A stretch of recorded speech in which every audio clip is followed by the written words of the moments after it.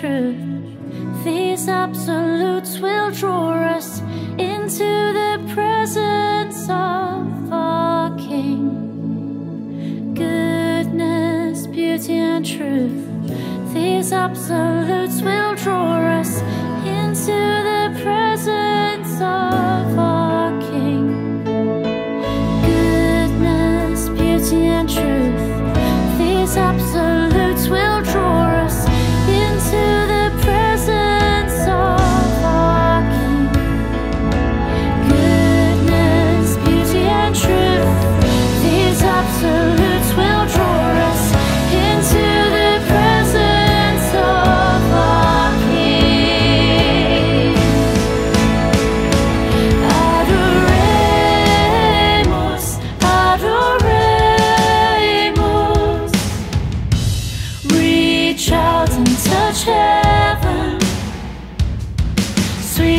This is here